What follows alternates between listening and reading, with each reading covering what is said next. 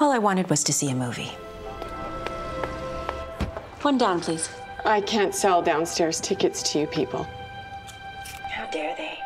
How dare they? Exactly what she would say. How dare they? Her sister's story in a Heritage Minute. Many call Viola Desmond a quiet revolutionary. But to Wanda Robson, the youngest in a family of 11, Vi will always be Big Sis. Viola looked out for me and my brother Jackie. We lived on the corner of Gottingen and Gary Street, two two flats. So we moved up. We were, the family had dwindled down to just I and my brother by that time. Viola and her, she was married.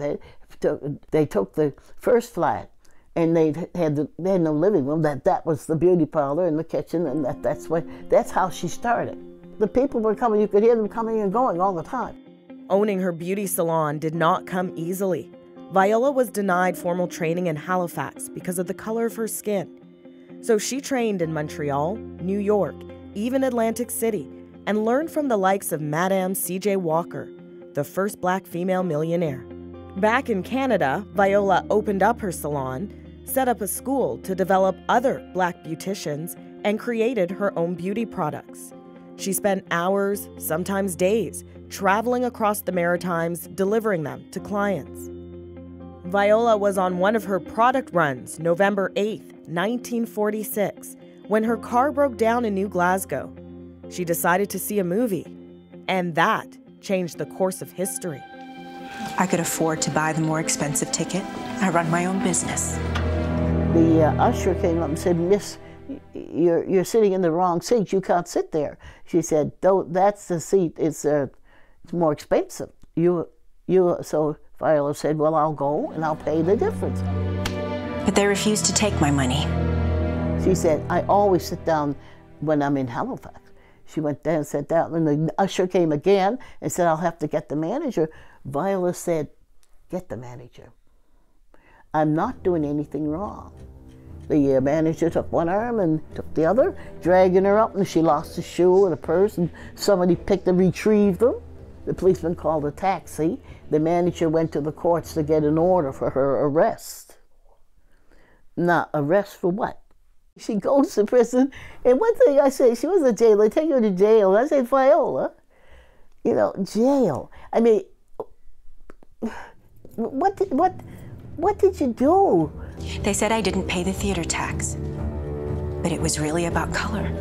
She made this, I think, was a conscious uh, response of rebellion. I'm not doing this. And I think the impact for me was um, to show how a small act can become something even bigger. Former Lieutenant Governor Mayann Francis was a part of that bigger moment decades later, issuing a pardon to Viola Desmond in April 2010.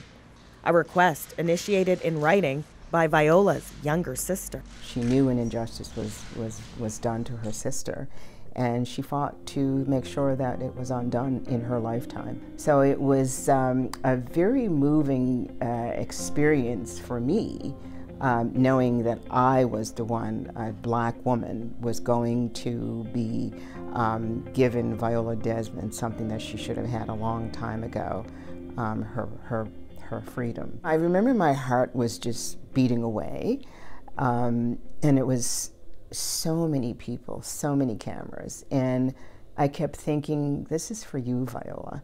And there she is. As fate would have it, Mayann Francis lives next to the Camp Hill Cemetery in Halifax, where Viola was buried in 1965. Viola I. Davis Desmond, 1914 1965. She made it her mission to have Viola's gravesite officially marked with signs. She's also responsible for this a portrait of Viola hanging on the government house walls. And this was Wanda Robson's response, seeing it for the first time. Wanda looks at it and, and she goes up closer and she says, Hi, Vi. You know, yeah. She put her hand up and she said, Hi, Vi. It was really moving. The pardon, the portrait, the graveside markers, it all leads back to Wanda and her quest for justice. My family had a front row and this is what we got. A framed copy of the pardon hangs at the front of Wanda's home, keeping her sister's memory, her place in history nearby. And if Viola was alive to see it today, she'd read it. And she'd say,